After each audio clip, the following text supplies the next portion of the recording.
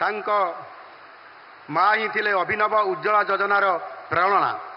ମାଙ୍କ ଦୁଃଖ କଷ୍ଟକୁ ଅନୁଭବ କରିଥିବା ଯଶସ୍ୱୀ ପ୍ରଧାନମନ୍ତ୍ରୀ ଦାୟିତ୍ୱ ଗ୍ରହଣ କଲା ପରେ ଆରମ୍ଭ କରିଥିଲେ ଦେଶର ସମସ୍ତ ଗରିବ ମାମାନଙ୍କୁ ଗ୍ୟାସ୍ ଯୋଗାଇ ଦେବାର ମହତ୍ୱାକାଂକ୍ଷୀ ଉଜ୍ଜଳା ଯୋଜନା। ଆଜି ଏହି ଯୋଜନା ବିଶ୍ୱର ଅନ୍ୟତମ ବୃହତ୍ ଲୋକ କଲ୍ୟାଣକାରୀ ଯୋଜନା।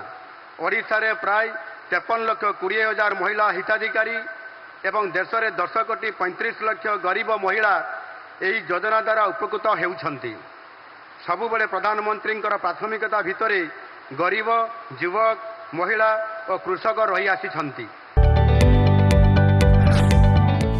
ଯଦି ଆପଣଙ୍କୁ ଆମ ଭିଡ଼ିଓଟି ଭଲ ଲାଗିଲା ତେବେ ଆମ ଚ୍ୟାନେଲକୁ ଲାଇକ୍ ସେୟାର ଓ ସବସ୍କ୍ରାଇବ୍ କରିବାକୁ ଜମା ବି ଭୁଲନ୍ତୁ ନାହିଁ।